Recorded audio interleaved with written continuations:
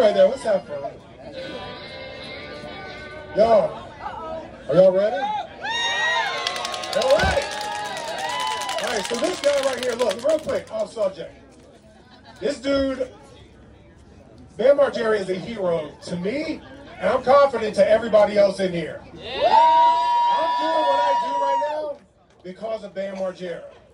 I've been watching this dude for 20 plus years. This guy was the original YouTuber. This guy was the original before TikTok. That stuff, this dude was cutting VHS tapes up. This dude is the innovator of what we see now. TikTok, all that crap. That was Bam. This guy did this. Y'all let this dude know. This is Bam freaking Margera. I don't know if y'all know. Like, mother, do I gotta take my shirt off? This is Bam Margera. Bam Margera, let's go! This guy is legend. This guy is Jackass. This guy is CKY. This dude is the, my opinion, the greatest skater of all time. So tonight what we're gonna do, we are so privileged here at Death Row Comedy Streamline, Tobacco Exotica, Arkham Asylum Comics, to have this man here. So I just want to let him know I appreciate you, Bam. We love you. We see what you're doing, and man, we're proud of you, dude. Bro, forget Rocky. It's about Bam Margera. So DJ Kirby, are you ready?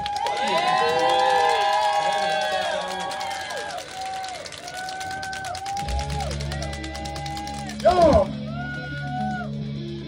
Bam Margera. And Jack, his manager. Yo, give it up! What up, everybody? This is my manager, Jack And uh, he's gonna uh, do a little Q and A, but because we've been through everything together, and we just reunited, and I'm so happy to be in Florida this time because the last time I was in the Guinness Book World Records of longest Florida shuffle. If you don't know what that means.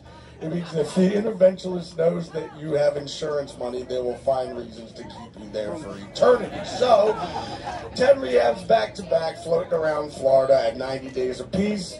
And four, I had the pleasure to do four mental institutions, and I realized that when you're hanging around somebody that is trying to fucking marry their own shoe or saying, Why didn't you marry me? You're gonna start fucking hanging out with these people. My first roommate was Kyle. And uh, Kyle goes, Yo, you from Philadelphia? Yeah. You know Newark Delaware? Yeah, it's 15 minutes from. You know that 7 Eleven? I don't know, maybe. Why? I used to ride my bike past there. Great fucking story, Kyle. I gotta live with your fucking ass. So anyway, Jack, let's do a little Q and A here. Um, You know, I've been with Bam for uh, 10 years, and uh, it's been a roller coaster ride. But uh, let's give it up for his girlfriend Dannii. There's a reason he's here right now. I'm 100 days sober now, but I do love the bar environment.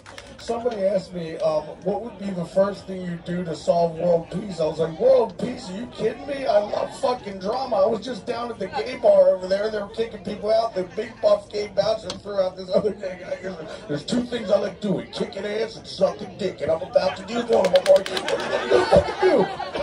I'm like, this is fucking awesome.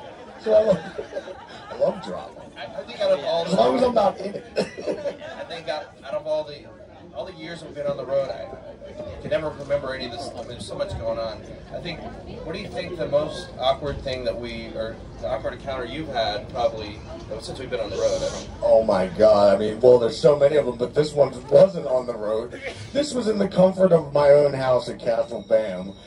I woke up at midnight to somebody kissing on my neck. I think it's my girlfriend at the time. I'm like, babe, we'll get to that in the morning. I realize she's sleeping that way right next to me. I look up, I see a silhouette of this naked chick. I'm like, what the fuck? So I turn on the light. She's already on the ground fingering herself, and she goes, "The owl sent me from Jupiter." I'm like, nine one one. So now I'm trying to get her the fuck out of there naked. I'm asking where her clothes are. She can't answer any of this. She's sitting there telling me that we're supposed to get married because her parents invented goats and trailers, and we're meant to be together. I'm like, right. So. Finally, when the police come, the gate opens. There's six police cars with the sirens on, and she sees it, freaks out, goes, "Oh shit!" She does a naked fucking cartwheel and runs into the woods. I'm like, "What's with the cartwheel? Did that like gain you extra speed?" oh shit! The fucking police. What the fuck? So then the police show up. They are searching for her everywhere to the point where four hours went by. I'm like, I'm going to the fucking bar. I don't care anymore. They found her in the Treetop Casino underneath seven different blankets, and then they found all these widow carvings in there. She's been living in my fucking tree fort for four months. Holy shit, bro. And she was from Altamont. I remember that because I saw her. She's from Florida, yeah. I saw her icing on the counter and it had a picture.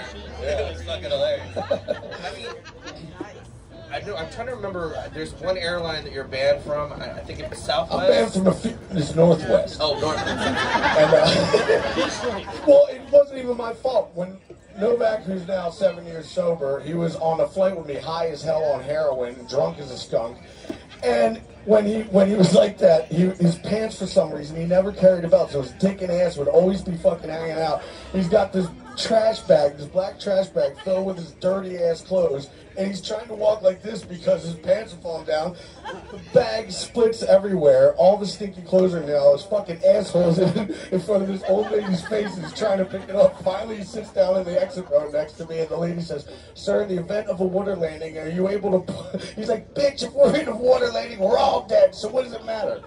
Banned from Northwest for life. And then the one time you dared Novak to shove a rock up his ass. Well, we were in Glasgow, Scotland, and we were playing a gig, and we were in the bad part of town, and he was begging for thirty dollars, and I know that whatever the thirty dollars was for, it wasn't for anything good. So I owed him per diem money. I go, look, if you want the thirty dollars, shove that fucking rock up your ass, and then I'll give it to you. He's like, fine, just give me the goddamn money. He shoves the rock up his ass, forgets about it for four days. He shitted out in the middle of the street, and it blew his asshole out. It looked like a fucking apricot hanging out. So he went to the emergency room, and his girlfriend is there at the time, and he, the doctor goes, "I need to talk to you in private. You're his girlfriend, right?" She's like, "Yeah." He's like, "This is not just from one rock coming out of his ass. This is years and years of damage to his asshole. Meaning, like, he's gay." He's like, "I can hear you over there, doc. I used to use my asshole as a glove compartment. I've been on fucking heroin for 20 years." No fucking day. the, the, mo- one of the most crazy things that you've done that I remember, uh, and you had to, it was really awkward, was Chris Cornell. Yeah, it was the it was one second that seemed like eternity because first of all, CKY was playing a festival in Norway and um, we were in the green room and Chris Cornell was playing afterwards. And we're in the green room and the security goes, everybody needs to clear the green room because Chris Cornell's walking through and he doesn't want to make eye contact with anybody. And I'm all hopped up on whiskey. I'm like, where is this moron? I kick his door open. He's doing his eye makeup and he, he doesn't yell at me. He sings at me, get the fuck out of here. so then they throw me out like a movie and stay out. Next morning, I'm on a flight from Kristiansand, Norway to Amsterdam, which is only one hour, and I'm with my girlfriend, and I go, shit, we're not sitting next to each other. I'm 1A and you're 2B, whatever. It's a one hour flight. I look to my left and it's Chris Cornell, and it was just one second of like, oh, fuck. I gotta sit next to him. I have no wingman to help me whatsoever. So I sit down, I go, remember me? He's like, yeah, what was that about? I'm like, well, the security said that you didn't want to make eye contact with anybody. I thought that was pretty lame. He's like, well, that's what security tends to say. I'm like, oh, so you didn't say it? I'm bam. Then we were friends, but it was one second of the most awkwardness in the world. And then, uh, dude, the list goes on. I, if somebody wants to say that a guy cannot get raped by a girl, I bet you differ because I've seen me do it. I've seen me do it. So I'm in Phoenix, Arizona on a Tony Hawk tour, and I was the 13th person to ever do a loop, loop on a skateboard, and I was trying for three years to do it, and I kept getting broke off. So finally, when I did it first try, after three years of trying, I'm like, I'm getting fucked up tonight. So we come to the hotel, and all the fans knew that we were staying there from the Tony Hawk Boom Boom HuckJam tour. And uh, I get in an argument with Novak because he was there for me to like carry my luggage. I tell him he's all hopped up on whiskey that he's good for nothing and all this stuff.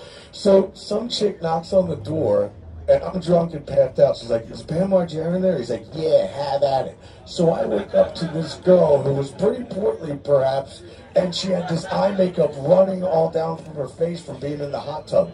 But I wake up and she's on top of me going, I love you, I love you, I love you. I'm like, Who the fuck are you? What was that? Get out of my room. And Novak goes, That's what you get for get, being mean to me, motherfucker. You should tell the story about Novak that that fucked that girl that was so ugly. well, it was a lot of them. let's just say this. I open up the tour bus and um, he's holding this girl D style watching a porno as he's, I'm like, what are you doing? He's like, I'm watching a hot girl because this bitch is minging. I'm like, dude, you are so fucked up. he was, dude, he was the worst ever. Like, I can't believe he's completely transformed and changed. It's a miracle. I know in San Antonio, I woke up and I'm like, all right, you guys go to bed. I'm gonna get you at five in the morning. We're gonna go to the radio station. I get up, and I don't know how the fuck he picked up that girl. That's the day he got kicked off the tour because we got a knock, knock, knock at four in the morning, and I go, "Who is it?" Tell Novak he better pay me my four hundred dollars of fucking heroin money. I'm like, "What, Novak? Do you owe this guy money?" He's naked in the aisle, not even in his bunk. He's going, "He's lying. Tell me flying." I'm like, "You know you're fucking hell." My brother's like, "I have four kids. I don't need this shit. Kick him off the fucking tour." that was hard. Oh, when, when you, you got arrested in Chicago, and you're like, we'll bail you out, no problem. And we're like waving all the money. That's your. That, that was when I was officially fed up. I have paid for so many rehabs and so much bullshit. So I decided to stay in the hotel room that night. He went out to party at the after party. He throws red wine all over the DJ's booth and ruins his laptop. They knock on my door and the police is there saying that I'm going to get arrested if I don't pay for Novak's damages. And I'm like, I wasn't even there. I'm like, look.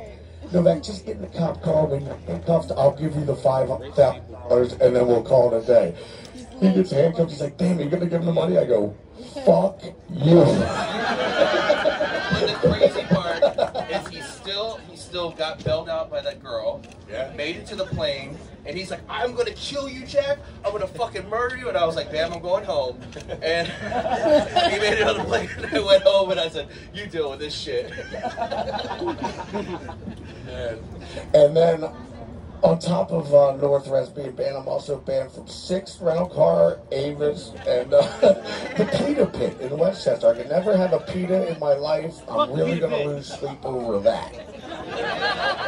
But the reason why I'm banned from uh, Sixt is because I rented a car in Budapest, said I'd return it in two days, and six months later, my dad got a phone call saying, Where is the car? I'm like, I returned that months and months ago in Amsterdam. And they're like, Amsterdam, that's 2,000 miles away. You said you were going to return it in Budapest.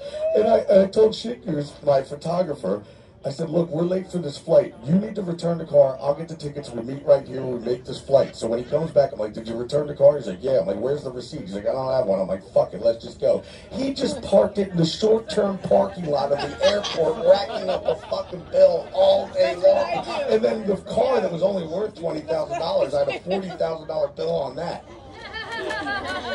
That I, I think I refused to pay. That's why I'm banned. What about uh, rubbish heap when he put the uh, the girl they had a fight with? They put the shit in your fucking bag. Remember that? She no, she grabbed dog. She caught him cheating. Of course, his name is Rubbish Heap, and he's in a band called Leftover Crack. So she gets she and she gets dog shit from the dog park down and puts it in my bag, thinking it's his. That's what happened. And that was when you said, we can't go anywhere, we can't get on the plane. So let's take a helicopter. Bam, we just made five grand. It's five grand to get on the helicopter. Oh, I took a lot of helicopters, but when I say he got caught cheating, now this isn't just with one girl. And if you're on the tour bus, the back room is mine. It's off limits. No one's allowed to be in there. And the tour manager, who wasn't you at the time, says, "Bam, you're going to be really mad." I go, "Why?" He's like, "Rubbish Heap is back there."